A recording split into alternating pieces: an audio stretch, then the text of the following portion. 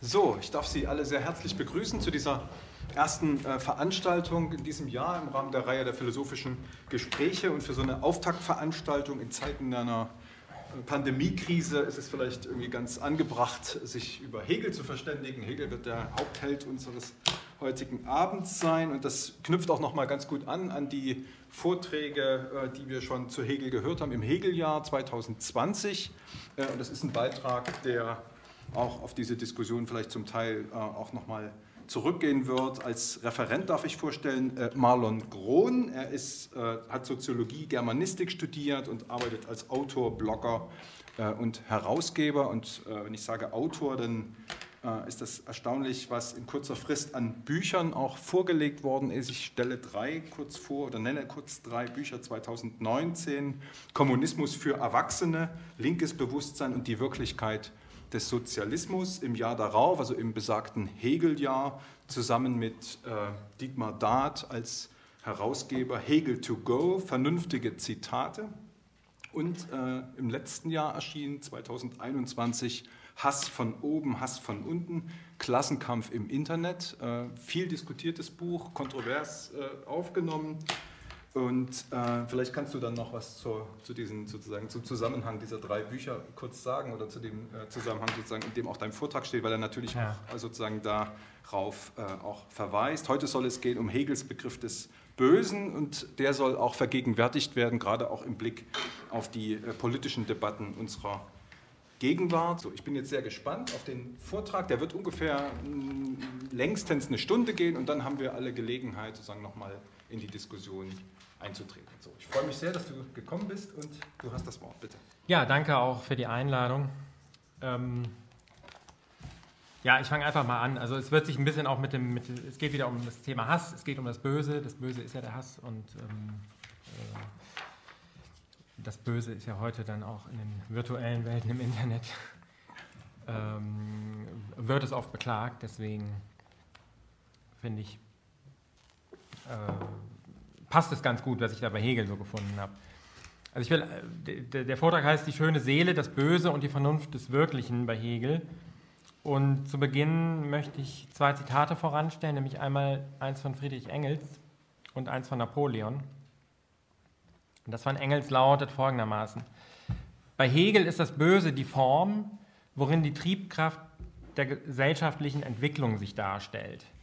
Und zwar liegt hierin der doppelte Sinn, dass einerseits jeder neue Fortschritt notwendig auftritt als Frevel gegen ein Heiliges, als Rebellion gegen die alten absterbenden, aber durch die Gewohnheit geheiligten Zustände, und andererseits, dass seit dem Aufkommen der Klassengegensätze es gerade die schlechten Eigenschaften der Menschen sind, Habgier und Herrschsucht, die zu Hebeln der geschichtlichen Entwicklung werden wovon zum Beispiel die Geschichte des Feudalismus und der Bourgeoisie ein einziger fortlaufender Beweis ist. Aber die historische Rolle des moralisch Bösen zu untersuchen, fällt Feuerbach nicht ein. Die Geschichte ist ihm überhaupt ein ungemütliches, unheimliches Feld. Das ist äh, Engels gewesen, Friedrich Engels. Napoleon sagt, ich zitiere, um politisch richtig zu handeln, muss man in jeder Lage immer nur das Niederträchtigste tun. Der Erfolg rechtfertigt im Nachhinein alles. Er adelt das ursprünglich Böse, bis es als das sittlich Wertvolle erscheint. Der Mann hat Erfahrung. Ne? So, zuerst eine Vorbemerkung zur Struktur der Phänomenologie des Geistes. Das ist das Buch, worauf es sich hauptsächlich heute ähm, dieser Vortrag bezieht. Hegels Phänomenologie des Geistes, die gleichzeitig eine Bewusstseinsphilosophie wie eine Psychologie darstellt, kann nur verstanden werden, wenn man sieht, dass sie einzelne Stufen und Bewegungsgestalten des individuellen Bewusstseins und damit auch Seins beschreibt und behandelt. Diese einzelnen Bewegungsgestalten, die Hegel in ihr auftreten lässt, vom bösen Bewusstsein wie dem Gewissen und dem beurteilenden Bewusstsein, über die schöne Seele und das harte Herz bis hin zum absoluten Wissen, bilden keine einzelnen Personen ab und sind nur insoweit personifizierbar, als sie überhaupt bei jedem Einzelnen in unterschiedlichem Grade zu bestimmten Zeiten vorzufinden sind. Es sich also, äh, es sich also um Bezeichnungen von verschiedenen Entwicklungsstadien des menschlichen Bewusstseins handelt. Auch die abschließende Gestalt des absoluten Wissens ist wiederum lediglich ein Schema und kann nicht einem einzelnen Menschen als ganzer Person zugeordnet werden. Das absolute Wissen ist vielmehr eine Form des Weltzugangs, eine Weise, wie Bewusstsein formieren kann. In der Phänomenologie geht es Hegel also nicht um einzelne Personen, die wiederum Träger von Bewusstseinsweisen wie schöner Seele oder bösem Bewusstsein wären, sondern es sind diese Bewusstseinsstufen, die so oder in ähnlicher Form jede Person im Laufe seines Lebens durchläuft. Worauf Hegel vor allem im Hinblick auf die Romantiker hinaus will, ist die Frage, wie lange man auf einer Stufe verweilt oder ob man auf ihr stehen bleibt und überhaupt noch mal weiterkommt. Hegel geht es also um die Entwicklungsdynamiken innerhalb des Bewusstseins, die das Erklimmen von Stufen bis hin zu einer Weisheit eben jenem absoluten Wissen bedeuten. Es war daher folgerichtig, dass Hegel das Werk zunächst von der geistigen Erfahrung nennen wollte. Der Erfahrungsbegriff des einzelnen Individuums ist hier das Wesentliche, das das Werk zusammenhält. Zu Hegels Begriff vom Bösen.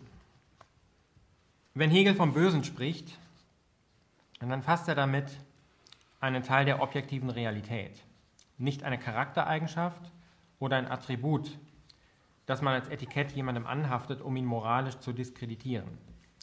Um sowas geht es Hegel nicht, im Gegenteil. Hegel setzt das Böse nicht einfach nur in Beziehung zum Guten, sondern setzt beides, das Böse wie das Gute gemeinsam, in Beziehung zu den realen, gesellschaftlichen, materiellen Verhältnissen, denn erst in diesen wird die bloße Intention, der bloße innere Wille nach Hegel zum Bösen, und zwar auch das Gute oder das Gutgemeinte.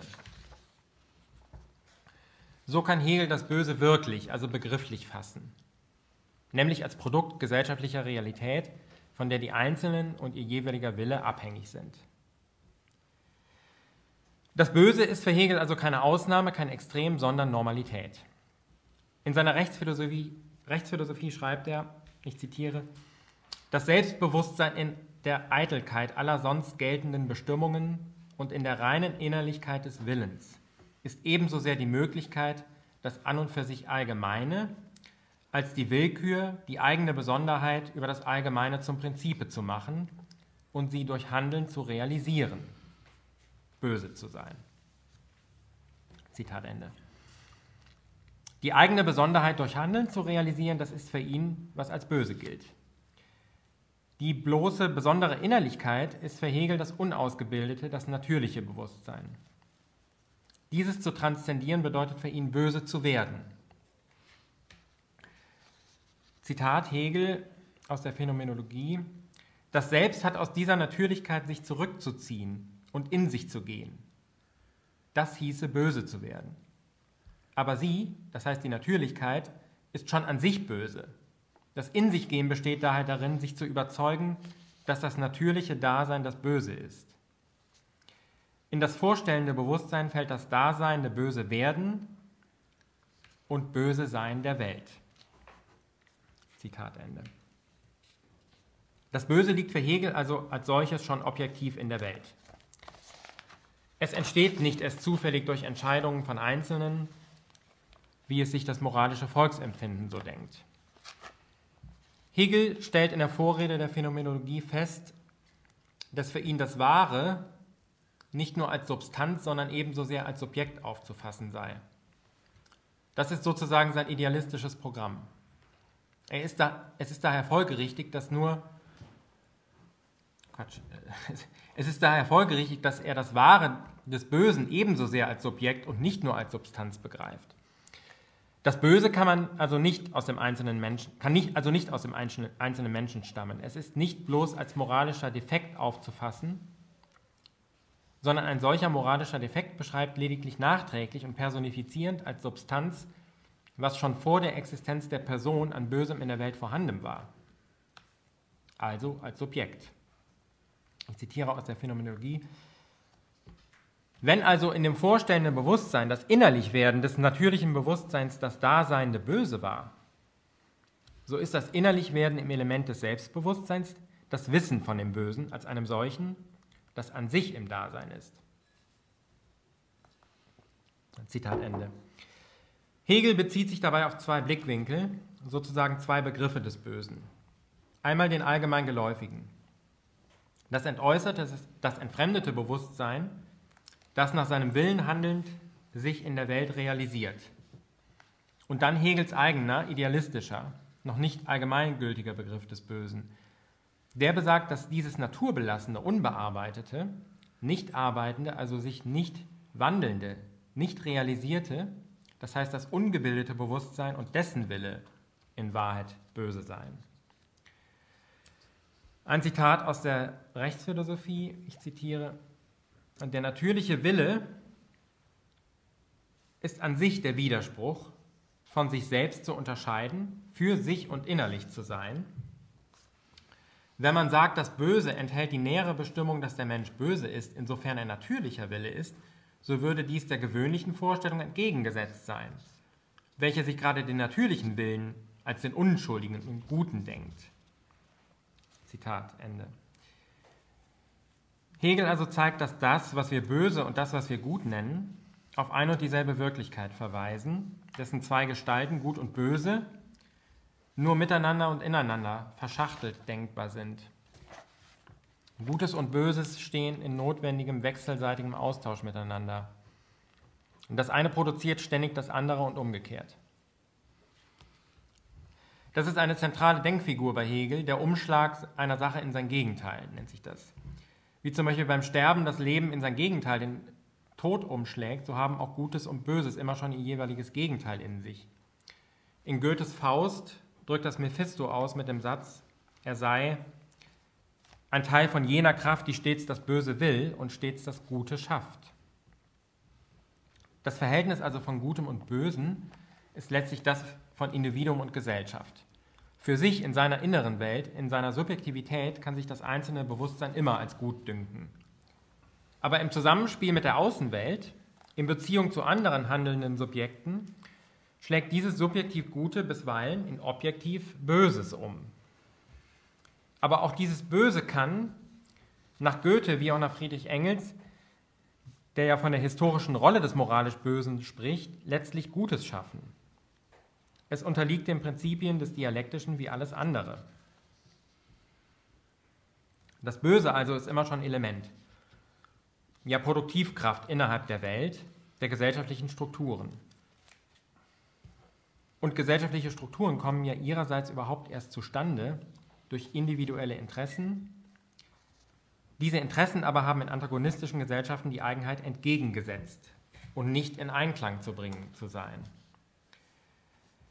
Daher das Böse, nämlich das Handeln gegen andere. In dem Satz, jemand ist böse auf dich, zeigt sich eine der Quellen des Bösen. Ein Mensch ist auf einen anderen Menschen böse, böse geworden durch Enttäuschung oder ähnliches. Böse sind Individuen nur in Gemeinschaft gegen andere Individuen. Oft gerade da, wo die stärkste Liebe geherrscht hat, herrscht mit einem Mal die heftigste Bösartigkeit.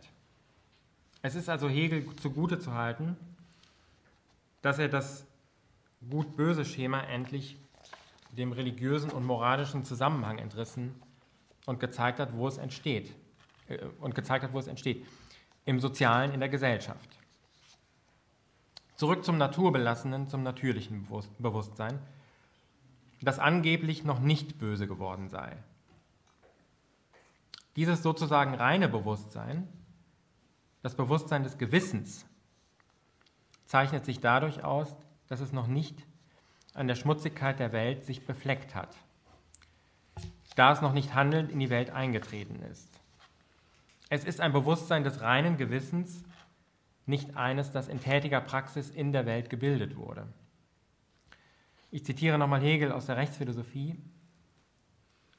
Der Ursprung des Bösen überhaupt liegt in dem Mysterium, das heißt in dem Spekulativen der Freiheit, ihrer Notwendigkeit, aus der Natürlichkeit des Willens herauszugehen und gegen sie innerlich zu sein. Es ist diese Natürlichkeit des Willens, welche als der Widerspruch seiner selbst und mit sich unverträglich in jenem Gegensatz zur Existenz, womit er das Nicht-Natürliche, das Gesellschaftliche und die soziale Position der Menschen meint, also das, wofür der Einzelne nichts kann, Also diese Natürlichkeit des Willens tritt in Widerspruch äh, zur Existenz. Und es ist so die Besonderheit des Willens selbst, welche sich weiter als das Böse bestimmt. Zitat Ende. Als deskriptiv böse, also bloß beschreibend böse, ist bei Hegel bestimmt, wer aus dem bloßen So-Sein, aus seiner Naturbelassenheit hinaustritt und seinem besonderen Willen handelnd nachgeht.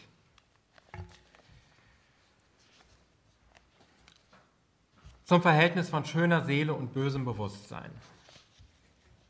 Hegels Bezug auf dieses als böse geltende ist insofern polemisch, als er es nur als böse genanntes nimmt und nicht selbst als böses bestimmt.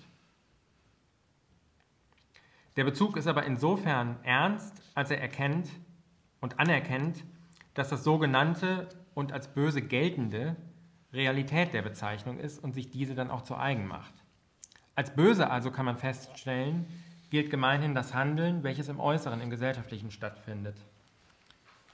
Das Angenehme, das Schöne hingegen ist, was im Inneren, bloß in der Seele existiert.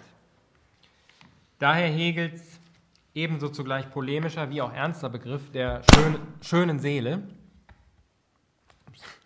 Das war damals eine, eine Figur, die, die in vor allem romantischen Romanen vorkam, die schöne Seele. Ähm, auch bei Goethe und, und äh, ja, bei Schiller auch, ja. Es, war, es waren dann die Romantiker, die sich auf die schöne Seele ähm, bei Goethe. Es war, es war ein romantisches, äh, war ein romantisches Motiv, äh, diese innere Abgeschlossenheit der Seele. Jene Art von Seele, die Hegel als schöne bezeichnet, steht nicht in Tuchfühlung mit der sie umgebenden hässlichen Wirklichkeit der Welt, also dem als böse geltenden. Oder eben, was dasselbe ist, dem Bösen. Sie denkt, sie könne reinbleiben, indem sie sich mit dem schmutzigen, unmoralischen Weltenlauf nicht einlässt. Sie ist damit schön und gut, aber eben nicht wirklich und wahr. Also in Wahrheit nicht existent. Denn eine Seele existiert nicht materiell. Sie ist immer nur als äußerliche, durch Handeln verwirklichte real. Nun gibt es heute in den sogenannten sozialen Medien des Internets, die vielleicht besser als schönseelische Medien bezeichnet werden sollten, ebenfalls eine Menge solcher schöner Seelen. Man erkennt sie etwa daran, dass sie auf sich und ihre Innerlichkeit konzentriert, andere User blockieren, die etwa als die in ihrer etwa als Safe Space gedachten Filterbubble leben und dort dann ihre reinheitsliebenden Gebote anderen aufdrängen wollen. Man möge es ihnen gleich tun und ebenfalls andere wegblocken, ignorieren oder herausfiltern. Solches Verhalten kommt zumeist daher, dass das Weltbild jener Blocker und Filterer ein sehr zerbrechliches ist. Es ist jene schwindsüchtige, schöne Seele, die sich nicht gerne stören lässt in ihren Illusionen und stattdessen über andere klagt, die diese Illusionen nicht teilen. Die schöne Seele will die Welt nicht ertragen und erbittet daher die ständige Schonung von und vor allen. Und das ist die Grundlage der Empörung etwa gegen den sogenannten Hass im Netz. Die Hippie-Bewegung ereignete sich in den 60er Jahren als Tragödie. Tragödie. Ihre heutige Aktualisierung im Netz ist die Farce darauf. Die Seelen solcher Klagenden sind schön, weil sie nicht in Kontakt mit der Wirklichkeit der wahren Welt getreten sind. Oder zumindest so tun, als ob. Ihre Seelen, also das Subjektive, Unwirkliche, weil nicht überprüfbare und ungültige, sind der eigentliche Schauplatz. Nicht die Welt, nicht das Objektive, Wirkliche und Überprüfbare und Gültige. Und weil ihre Seele der eigentliche Schauplatz ihres Lebens ist, soll auch die restliche Welt zum Schauplatz ihres Seelenlebens werden. Also anstatt dass sie sich oder auch ihre Seelen in der Objektivität der äußeren Welt verwirklichen, wollen sie, dass sich diese äußere Welt innerhalb ihrer Seele verwirkliche, und zwar nach ihren subjektiven Spielregeln. Die Welt draußen ist aber nicht schönselig, sie ist nicht mal selig. Selig sind die Toten. Dazu Hegel, ebenfalls aus der Rechtsphilosophie, ich zitiere, ein Wille, der nichts beschließt, ist kein wirklicher Wille. Der Charakterlose kommt nie zum Beschließen.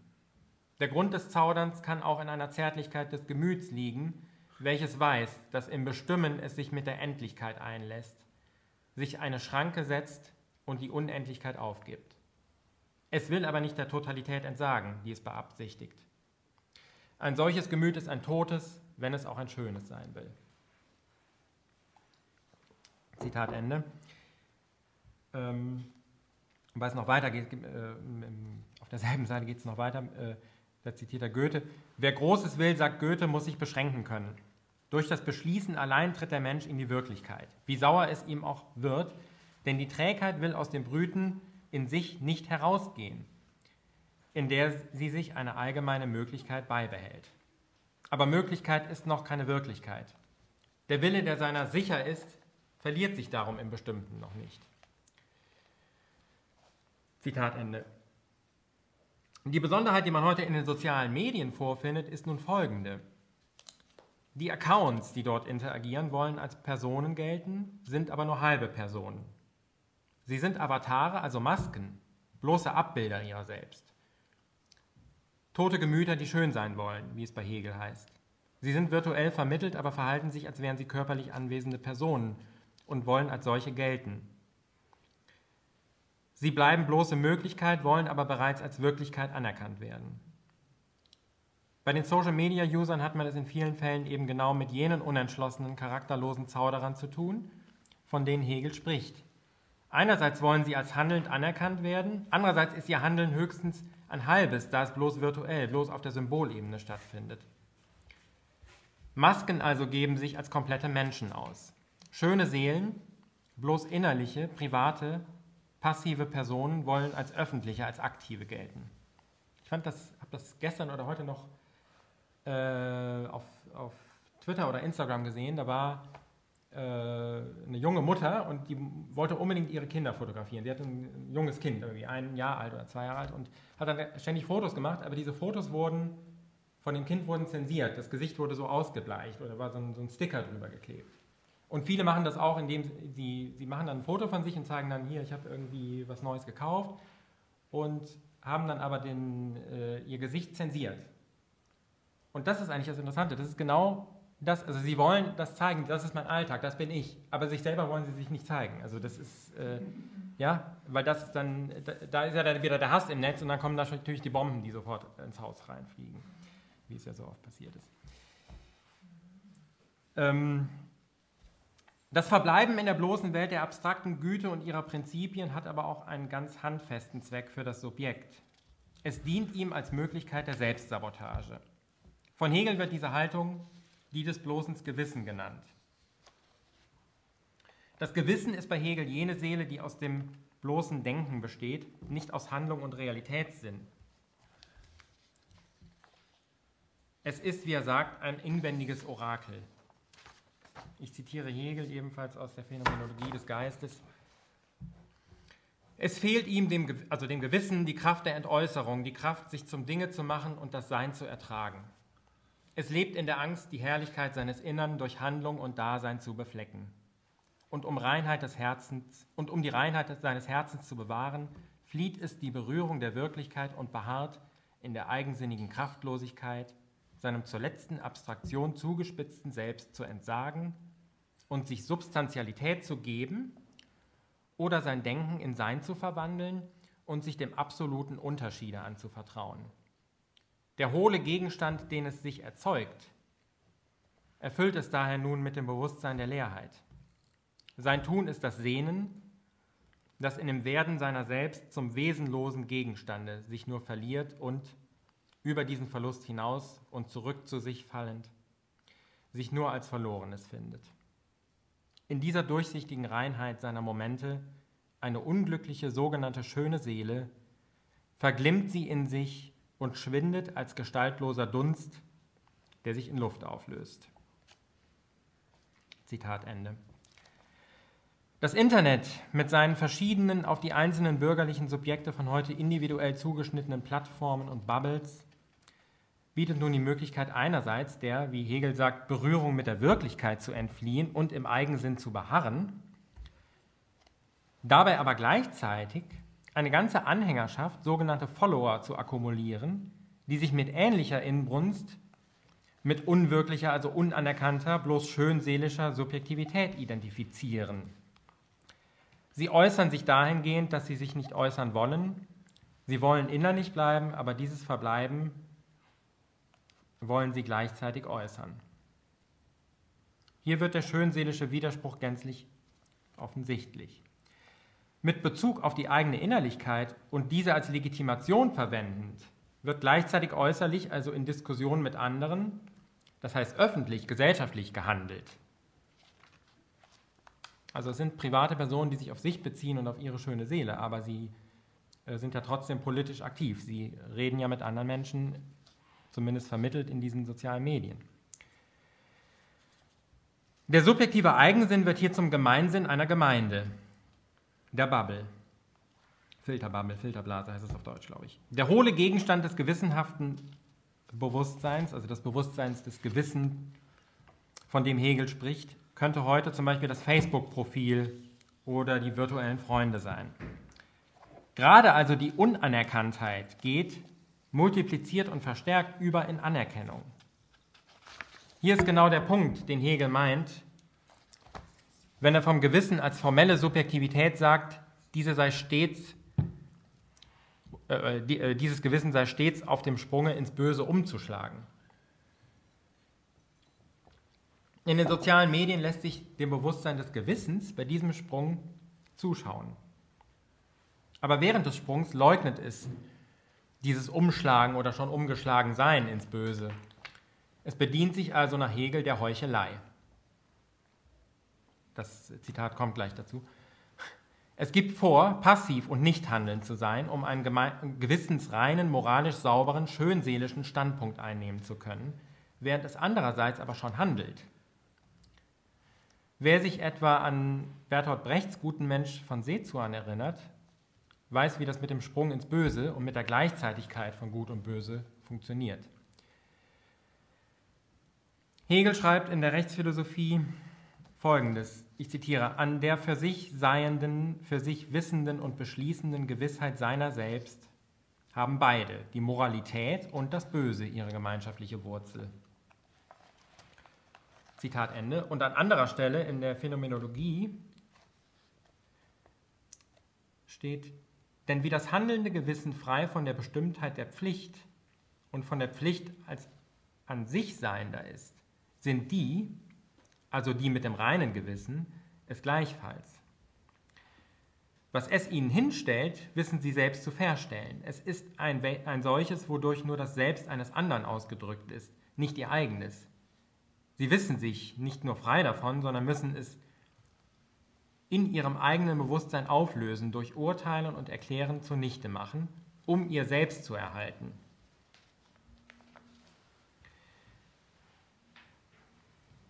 Zitat Ende.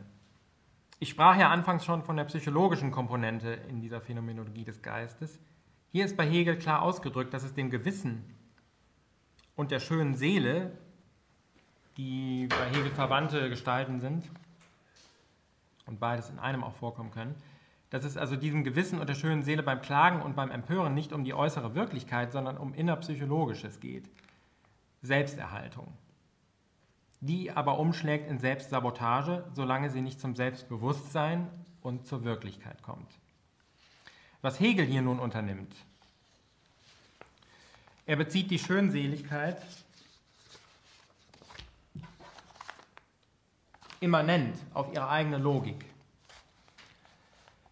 Er gleicht sie ab mit ihrer eigenen Moral, zeigt, dass sie in ihren eigenen Kriterien sich ständig widerspricht. Denn die schöne Seele kann den Kriterien ihrer Moral nur dann entsprechen, wenn sie nicht handelt, sondern bloß das Handeln der anderen beurteilt. Das Beurteilen der Gewissen heißt es bei Hegel. Handelt sie jedoch selber, widerspricht sie ihrer eigenen Moral, sich selbst aber beurteilt sie dann nicht mehr ebenso unversöhnlich und erbittert. Mehr noch, das angeblich reine Urteilen selbst, sagt Hegel, ist auch schon ein Handeln.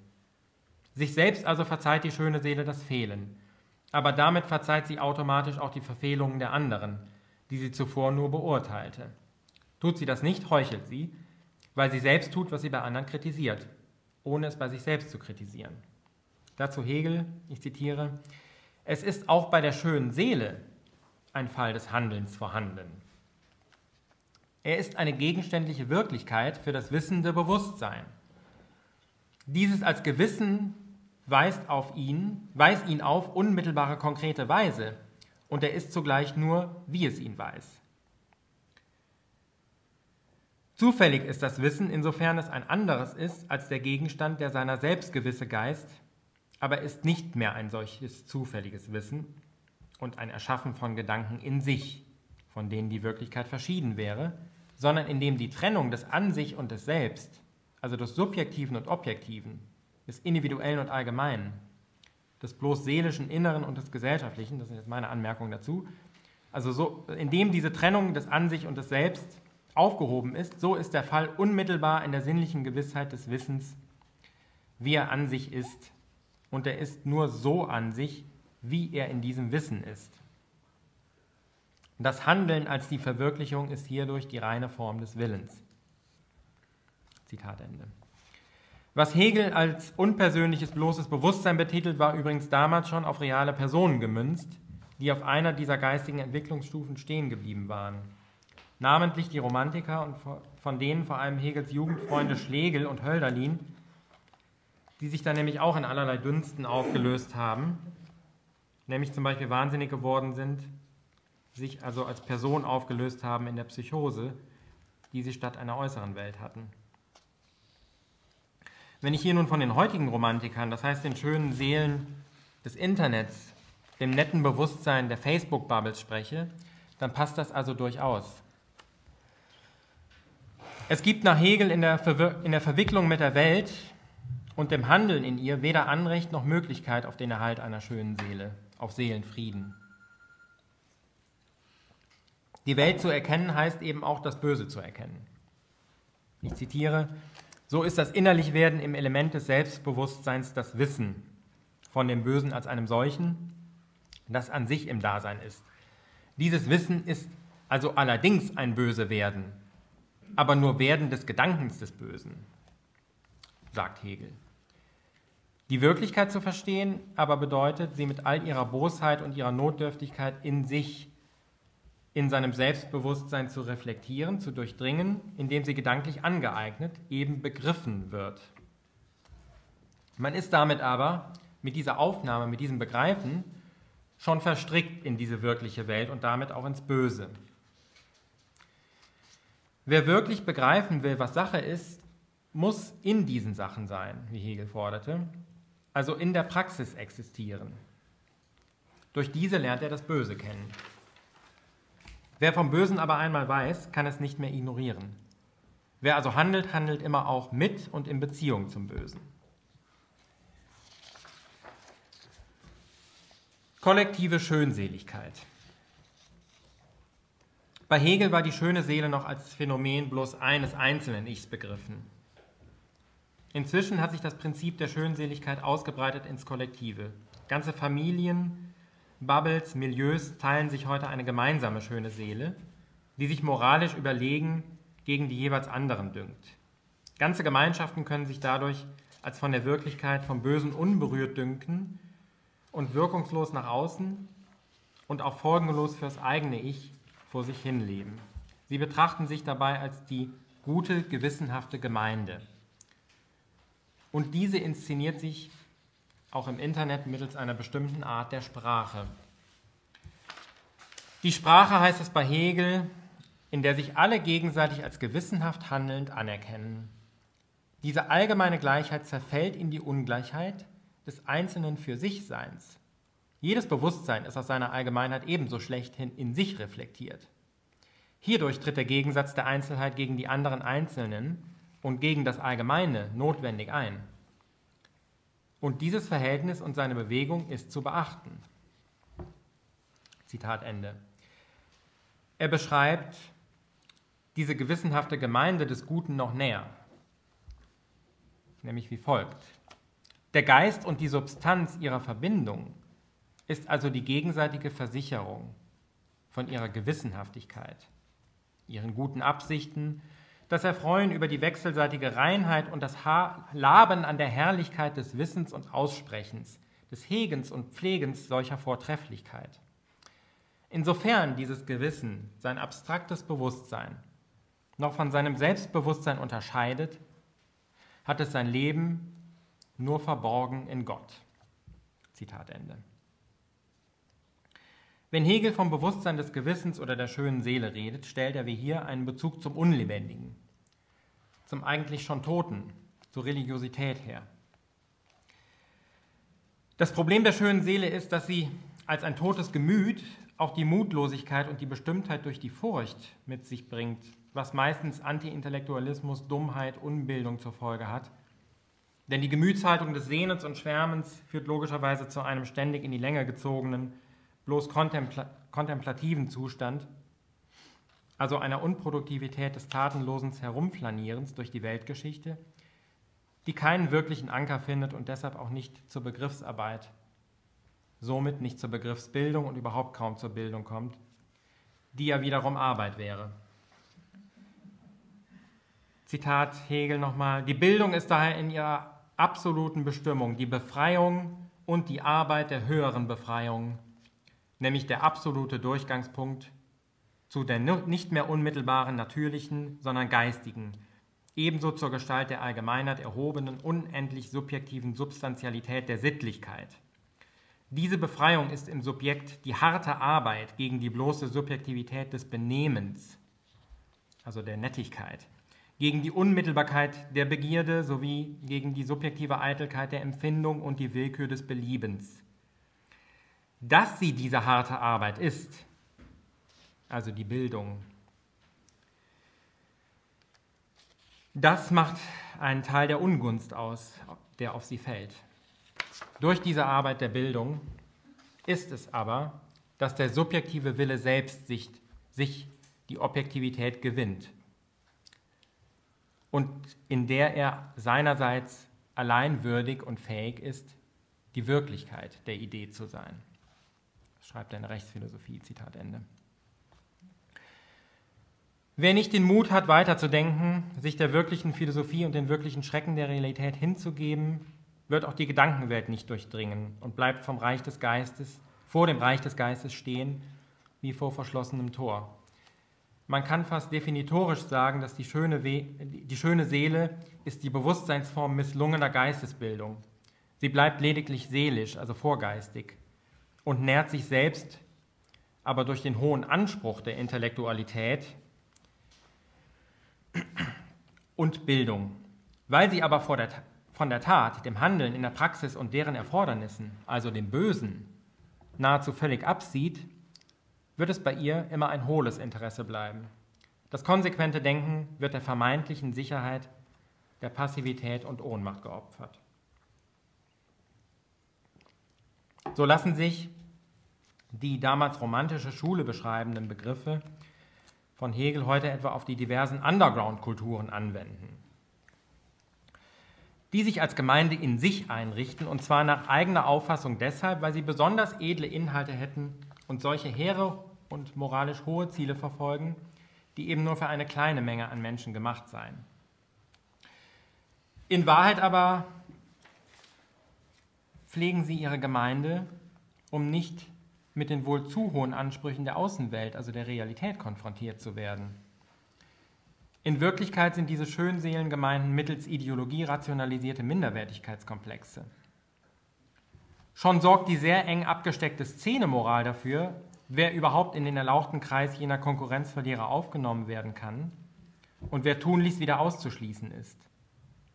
Es scheint, der Verlierer ist gezwungen, seine eigene Geschichte zu wiederholen seine Biografie anderen zu unterbreiten, indem er sie diese nacherleben lässt. Verlierer schließen Verlierer aus und reproduzieren das Verlieren. Zu bedenken ist, dass Hegel der schönen Seele tatsächlich das Attribut verloren zuschreibt. Die schöne Seele hat verloren und sie findet sich damit ebenso als verloren. Ich weise auch nochmal auf Karl Marx hin, der gesagt hat, die Arbeiter haben nichts zu verlieren, außer ihre Therapieplätze, würde ich sagen. Ähm, die schöne Seele, die Kollektive zumal, ist somit direktes Erzeugnis der bürgerlichen Gesellschaft und ihres Arbeitsmarkts, also ihrer Konkurrenz der Subjekte untereinander. Diese Konkurrenz aber wird von den schönen Seelen mystifiziert. Folgen dieser Mystifizierung sind dann die Errichtung, sind, sind dann, Entschuldigung, neben der Subkulturpflege Bestimmte Aktivismen wie die Identitätspolitik oder die Errichtung sogenannter Safe Spaces, das heißt geschützter Räume, in denen die Schönseligkeit fernab vom Treiben der Welt und der harten Konkurrenz konserviert werden soll. Denn wo die reale Welt ständig ausgeblendet wird, muss man sich behelfen, niemanden reinzulassen, der an ihre Existenz erinnern könnte. Es ist das quasi eine Art zweiter Arbeitsmarkt der Freizeit, das Abstellgleis des Lebens. Es handelt sich also um Leute, die die bürgerlichen Verhältnisse rationalisieren, indem sie sie essentialisieren, indem sie ihre von außen erfolgte Strapazierung als von innen kommende Charaktereigenschaft mystifizieren.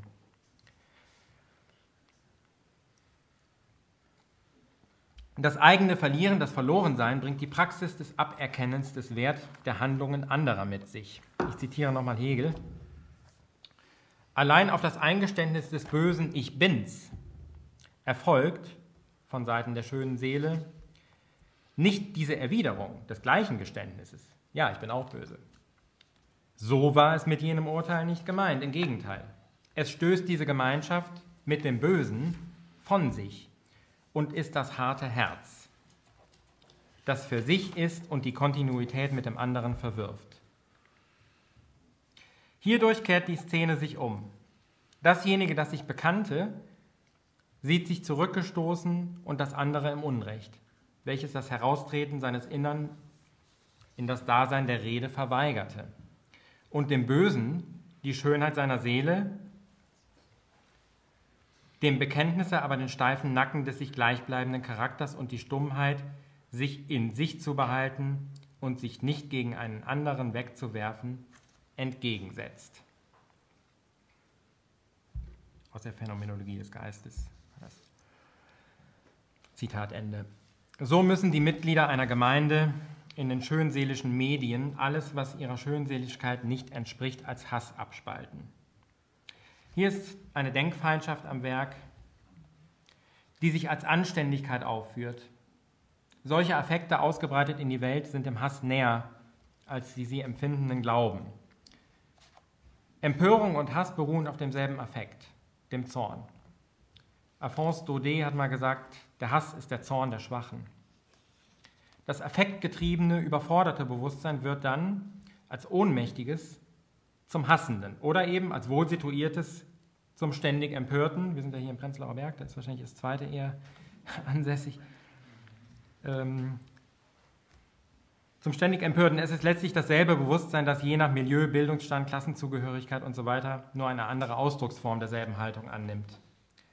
Denn nach Hegel ist das vorgeblich schutzbedürftige, das vehement abblockende Bewusstsein auch ein Böses. Schließlich handelt es ja auch in der realen Welt und nach seinen eigenen Interessen, wenn es das auch abstreitet oder das eigene Interesse moralisiert, also als Allgemeines ausgibt. Sein Böses ist, dass es dies verbirgt und unter der Maske des abstrakt Guten auftritt. Es stellt sich wohlgemerkt im Namen des Wohls der anderen, der Allgemeinheit, als Einzelnes selber gegen diese Allgemeinheit. Hegel unterscheidet zwischen dem handelnden Bewusstsein und jenem abstrakt Guten, das heißt bloß das Handeln der anderen beurteilen in Bewusstsein. Ich zitiere Hegel, dieses beurteilende Bewusstsein ist hiermit selbst niederträchtig, weil es die Handlung teilt und ihre Ungleichheit mit ihr selbst hervorbringt und festhält. Es ist ferner Heuchelei, weil es solches Beurteilen nicht für eine andere Manier böse zu sein, sondern für das rechte Bewusstsein der Handlung ausgibt. Also nicht, dass, das, dass die schöne Seele oder dieses beurteilende Bewusstsein sagt, wir sind böse auf eine andere Weise. Nein, nein. Obwohl sie dasselbe machen, sagen sie, unsere Handlung ist die einzig wahre. In dieser seiner Unwirklichkeit und Eitelkeit des Gut- und Besserwissens sich selbst über die heruntergemachten Taten der anderen hinaufsetzt und sein tatloses Reden für eine vortreffliche Wirklichkeit genommen wissen will, hierdurch also dem Handelnden, welches von ihm beurteilt wird, sich gleichmachend, wird es von diesem als dasselbe mit ihm erkannt. Dieses findet sich von jenem nicht nur aufgefasst als ein fremdes und mit ihm ungleiches, sondern vielmehr jenes nach dessen eigener Beschaffenheit mit ihm gleich. Ich könnte einfach auch mal das Wort Trotzki hier einwerfen, aber äh, das äh, kann man vielleicht darauf beziehen. Äh, der nächste Punkt lautet das linke und das rechte Böse. Wer in der bürgerlichen Gesellschaft anerkannt werden will, muss, wie Hegel feststellt, sich entäußernd in der Welt handeln, also böse sein. Das Böse definiert sich geradezu dadurch, dass es anerkannt wird. Auch ohne dass der jeweils Anerkennende es wirklich anerkennen will. Auch hierzu lassen sich in den sozialen Medien tausende Beispiele finden. Der böse User provoziert und das Resultat ist eine Empörungswelle der schönseelischen und damit vermehrte Aufmerksamkeit, also Anerkennung des Bösen. Es ist letztlich solche erzwungene Anerkennung, die das Böse auszeichnet. Noch die Aufregung über die Provozierenden willfährt deren Logik. Die schönseelische Aufregung ist schon Folge von deren Macht, also von der Macht der äh, Provozierenden.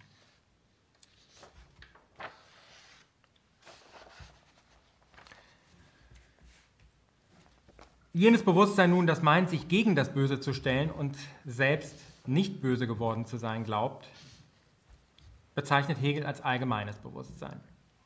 Es ist damit jenes unbeschlagene Bewusstsein, das unbeschlagene Bewusstsein gefasst, das heute durch Massenmedien vermittelt und sich als ein zufälliges und ungebildetes, dem realen Handeln fernes, nettes Bewusstsein erweist.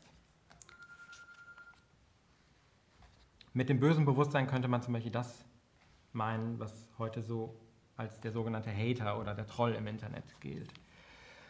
Ich zitiere Hegel nochmal. Ebenso wenig ist das Beharren des Allgemeinen, das heißt heute des netten Bewusstseins auf seinem Urteile, Entlarvung und Auflösung der Heuchelei und somit auch kein Kampf gegen den Hass, indem es gegen sie, die Hassenden, schlecht, niederträchtig und so weiter ausruft, beruft es sich in solchem Urteil auf sein Gesetz, wie das böse Bewusstsein, also das der Hassenden, auf das seinige. Denn jenes tritt im Gegensatz gegen dieses und dadurch als ein besonderes Gesetz auf. Es hat also nichts vor dem anderen voraus, legitimiert vielmehr dieses und dieser Eifer tut gerade das Gegenteil dessen, was er zu tun meint, nämlich das, was er wahre Pflicht nennt und das allgemein anerkannt sein soll, als ein nicht anerkanntes zu zeigen und hierdurch dem anderen das gleiche Recht des Für-sich-Seins einzuräumen. Die Empörung legitimiert also immer schon den Hass, indem sie ihn als solchen anerkennt. Ist meine Anmerkung dazu. Hegel weiter schreibt, denn das Bewusstsein der Pflicht verhält sich auffassend, passiv. Es ist aber hierdurch im Widerspruch mit sich als dem absoluten Willen der Pflicht, mit sich dem schlechthin aus sich selbst Bestimmenden. Es hat gut sich in der Reinheit bewahren, denn es handelt nicht. Es ist die Heuchelei, die das Urteilen für wirkliche Tat genommen wissen will. Und statt durch Handlung, durch das Aussprechen vortrefflicher Gesinnungen die Rechtschaffenheit beweist.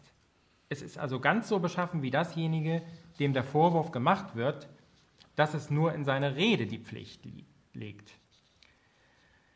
Zitat Ende.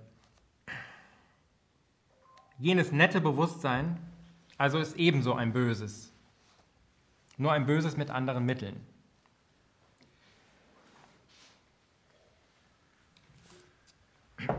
Ähm, nur ein Böses mit anderen Mitteln. Denn wer das böse Bewusstsein wirklich verstehen will, muss selber schon Teil von ihm sein. Und wer das böse Bewusstsein nicht teilt, kann das Böse nicht verstehen, steht, steht, steht stattdessen als Kleinkind vor den zur Normalität gewordenen Schrecklichkeiten der Weltgesamtmisere, von der ja zum Beispiel der Hass etwa im Netz wirklich nur einen sehr kleinen Ausschnitt darstellt. Zu leugnen, also zu heucheln, man habe mit dem Bösen nichts zu schaffen, ist nur eine weitere Spielart des Bösen, eine, die sich als gut dünkt. Natürlich kann das reine Erkennen, das Bewusstsein vom Bösen umschlagen ins reale Böse selbst. Das unbeschlagene Bewusstsein nimmt nach der Erkenntnis je nach Begreifen dieses Bösen oft bloß eine sich verkehrende Haltung ein. Es paktiert nicht in strikter Abgrenzung und voller Bewusstheit mit jenem Bösen, sondern vertraut sich mit ihm ganz an, wird zu jenem. Man kennt diese Haltung als Zynismus. Der ehemals gute, der engagierte Linke, der auf die Kraft der Moral pochende wird, meist durch kurze Zwischenstationen wie Ideologiekritik oder Taz-Anstellung, zum Amoralischen, zum Rechten, zum Zyniker und so weiter. Weil er wie schon zuvor kein Maß und damit keine Grenzen mehr kennt, ist ihm dann gleich alles egal. Er wird zum Faschisten und rechtfertigt das mit dem ohnehin vorhandenen Bösen. Eine vollends böse Welt, glaubt er, fordere von ihm, wenn er tätig sein will, vollends böse zu sein, und also wird er es schlussendlich und in Gänze. Aber an dieser Haltung, zu der das gewöhnliche moralische, also begrifflich unbeschlagene Bewusstsein beim Erkennen des Bösen zu neigen scheint, ist der Fehler, dass die vorherigen Maßstäbe einfach verkehrt werden. Es gibt da keine Entwicklung oder Bildung. Also Jürgen Elsässer oder Henrik M. Broder sind nicht klüger geworden. Sondern bloß andere Vorzeichen. Dieses Bewusstsein stellt die Spiegelung seiner eigenen Vergangenheit dar. Es ist gar nicht souverän, es durchdringt die Materie nicht, weiß keine Unterschiede zu treffen, die Grenz- und Maßlosigkeit schlägt sich Bahn. Es nimmt zum Bösen dieselbe affektive, äh, affektive distanzlose Stellung ein wie vormals zum ander, zur anderen Seite, zum abstrakt Guten. So, der letzte Punkt. Teufel im Leib. Die oben aufgeführten Zusammenhänge sind Teil des als allgemein als äußeres Böses bestimmten. Man muss deshalb, denn es bleibt ja nicht da draußen, dieses Böse auch einmal bis hinein ins Innerste der Individuen begutachten. Denn dort in der Seele kennt man es zunächst als Furcht oder Angst. Die Ebene des Gefühls- und Seelenlebens der sich fürchtenden Individuen läuft ja in der Weltgeschichte neben der politischen auch immer mit. Hegel redet daher von einem für die Bildung und die Möglichkeit zum wahren Urteil notwendigen Durchlaufen dieser Furcht. Er besteht auch strikt auf einen wesentlichen Unterschied zwischen für diesen und jenen Augenblick Angst gehabt zu haben und dem Empfinden der absoluten Furcht. Durch diese absolute Furcht muss das Böse, also das Welterkennende und vor allem Begreifende und in wie mit dieser Erkenntnis handelnde Bewusstsein gegangen sein. Dagegen nehmen sich die kurzfristigen Ängste überspannter Kleinbürger, etwa vor dem Hass, als Farce aus, denn wenn Hegel davon spricht, Zitat, ohne das Bilden bleibe die Furcht innerlich und stumm und das Bewusstsein wird nicht für es selbst. Und außerdem ein Bewusstsein, das ohne die erste absolute Furcht formiert, nur ein eitler eigener Sinn sei, dann geht es hier um dasselbe konkrete, richtige Böse, von dem der Hass, den wir heute so im Netz und anderswo kennen, nur die Spitze des Eisbergs darstellt. Die ganze Passage bei Hegel lautet folgendermaßen. Ohne das Bilden bleibt die Furcht innerlich und stumm. Und das Bewusstsein wird nicht für es selbst. Formiert, also bildet sich das Bewusstsein ohne die erste absolute Furcht, so ist es nur ein eitler eigener Sinn. Denn seine Form oder Negativität ist nicht die Negativität an sich. Und sein Formieren kann ihm daher nicht das Bewusstsein seiner als des Wesens geben hat es, also das Bewusstsein, nicht die absolute Furcht, sondern nur einige Angst ausgestanden, so ist das negative Wesen ihm ein äußerliches geblieben. Seine Substanz ist von ihm nicht durch und durch angesteckt. Indem nicht alle Erfüllungen seines natürlichen Bewusstseins wankend geworden sind, gehört es an sich noch bestimmtem Sein an. Der eigene Sinn ist Eigensinn, eine Freiheit, welche noch innerhalb der Knechtschaft stehen bleibt. Zitat Ende. Der Literat Gottfried Keller wiederum fasst dieses Produkt des Bösen im Inneren der Individuen als den Teufel im Leib. Ich zitiere Keller, wer keine bitteren Erfahrungen und kein Leid kennt, der hat keine Malice. Und wer keine Malice hat, bekommt nicht den Teufel in den Leib. Und wer diesen nicht hat, der kann nichts Kernhaftes arbeiten. Zitat Gottfried Keller. Mir scheint es sehr wichtig für das Begreifen des Hasses und überhaupt aller möglicher dämonischer, teuflischer, böser Phänomene, also des, der Auswüchse dessen, was man so als das Böse bezeichnet, wie dieses Boshafte denn in die Menschen hineinkommt und was es dort anrichtet. Weil erst dann hätte man substanziell verstanden, worum es bei all dem Hass überhaupt geht und warum er sich nicht durch bloßes Beklagen und moralische oder sonstige gut gemeinte Appelle abzustellen ist. Leider ist festzustellen, dass auch die Linken heute so gut wie keinen Begriff vom Bösen haben. Bei ihnen gilt hier eher, was nicht sein darf und was verschwinden soll, ist der Anstrengung des Begriffs nicht wert. Was nun also bedeutet es, den Teufel im Leib zu haben? Es ist das innerhalb der gesellschaftlichen Verhältnisse durch menschliche Praxis, also Erziehung, Beziehung zu anderen und zur Natur, produzierte Böse, das nun als innerer Teufel fortsetzt. Es handelt sich dabei um eine Spannung, Unruhe, Rastlosigkeit, einen Aktivitätsdrang, der als Motor, als Antrieb fürs Handeln, bei Hegel fürs Böse sein fungiert. Dieses Handeln ficht auf äußerer, allgemeiner Ebene den Kampf zwischen Individuum und Gesellschaft aus, indem es beide Ebenen synchronisiert, etwa in der Arbeit. Wohingegen die Konflikte nur im Individuum selbst ausgetragen werden, statt auf gesellschaftlichem Feld, erscheint auch das Letztere nur noch als Teil der Psyche. Eine Synthese bleibt aus, weswegen hier die Schwäche regiert, die freilich nicht böse sein braucht.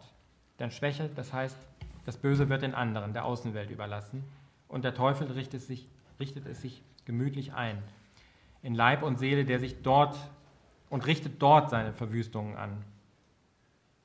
Das kann sich zu Krankheit und Wahnsinn steigern, wenn es dem Individuum nicht gelingt, den Teufel im Inneren im Zaum zu halten, indem es ihn entäußert.